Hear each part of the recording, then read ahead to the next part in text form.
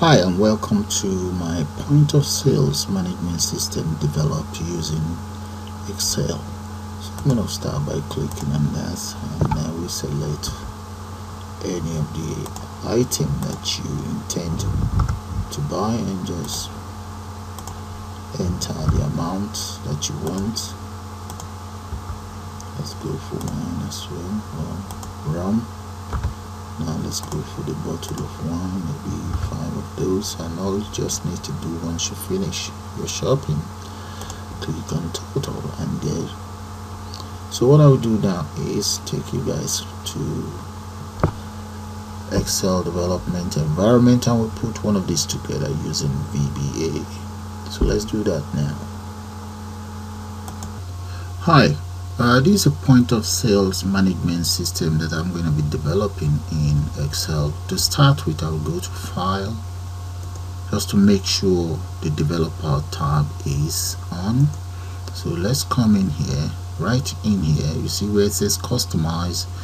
Select the Customize ribbon, just make sure your developer checkbox is checked. Then click on OK and that's your developer menu right there. Now click on the developer menu and select Visual Basic. Once Visual Basic is selected go to insert right here and select user form. Now your interface should be similar to this. You can always drag to define your interface or you can just come right down here in the properties and define your interface. Okay for the form I'm going to define the width to be 1000 let, let me move this up so that you guys can see what I'm talking about. The width right here or maybe let's drag it here. Let's come in here and enter 1000 and let's make it 1013 that's the width and the height. As for the height I'm going to make that 690 693 693 that's the height. Okay so let's close that. Now that the property itself is ready okay the next thing I want to do now is to select let's select the buttons that we will need. Or before that let's get I think we're going to need a frame. Yeah let's use a frame one here. Let's drag it down. And this very frame I'm just going to get rid of the text content on it. I think it's caption. Okay that's it right there. Get rid of it. There. Now this same frame hold down the control and just copy copy it across. Alright and in here in this very first frame let me add the following. Oh, I will add some buttons here. Those are my buttons ready but I need a room up here. I need some rooms in there so let's grab a label. And that very label change the caption let's change that to category.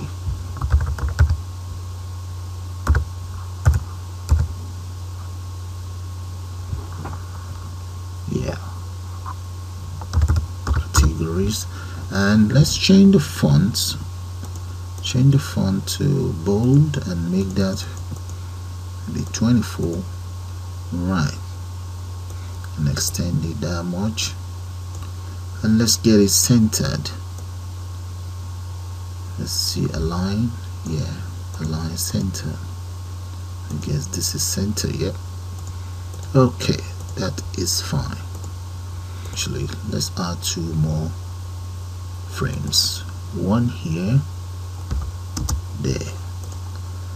Now in here I need a checkbox. One checkbox add a label or text box one text box here and then let's change the font of both component to about 18 as well.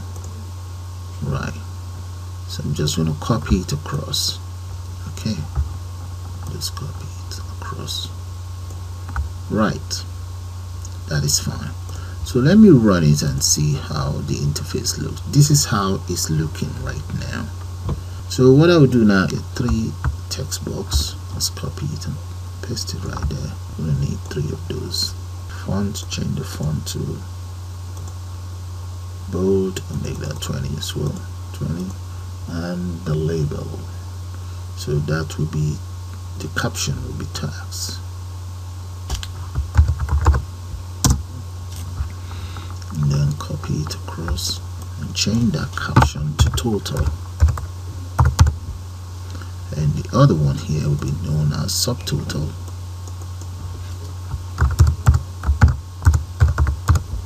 Right there.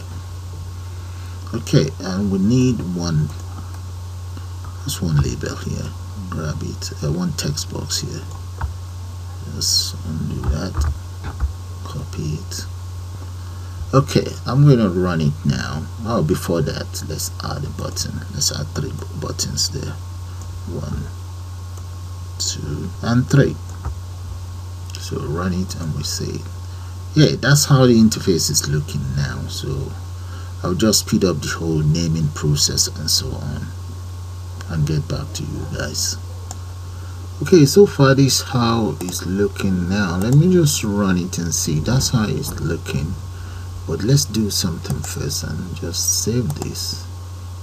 Let's come in and save that and uh, right here we've got to select Excel macro enable workbook and here I'm just going to enter VBA underscore POS or maybe I just call it Excel POS something like that. Excel POS yeah that's fine. So that's the name I'm going to call it but make sure you save as macro enable workbook. So let's come in here. My C drive and just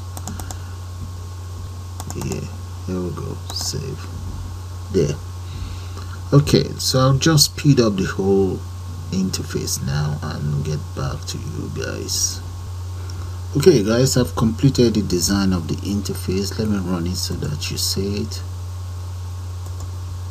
There this is how it looks but the next thing I want to do now is to start work on all of these.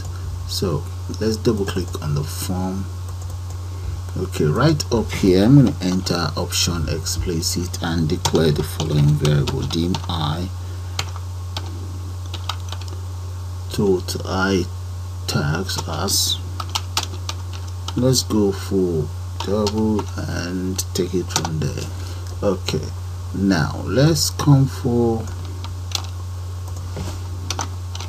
that will be for subtotal total uh, subtotal i subtotal. And the next one would be i total. I total and enter an array here and see what will happen with that. Let's go for maybe about I don't know how many I have in there for now. Let's just enter 30 and here underneath here let me declare some constant constant MC tax underscore rate. And the tax itself. Okay let's just say dim tax then. Now the next thing I want to do is let's come in here and double click on the exit button. For the exit button I'm going to enter as follows. Let's say dim i exit. That's my local variable as shall I go for an integer? Yeah let's go for integer. Yeah. And then i exit equals message message box. And in here let's say confirm if you want to exit. And let's put a comma there. And the next one will be VB question. Okay that would be my icon plus VB yes no. Yes no. Comma and I will then enter point of sale. Okay. That'll be the title. And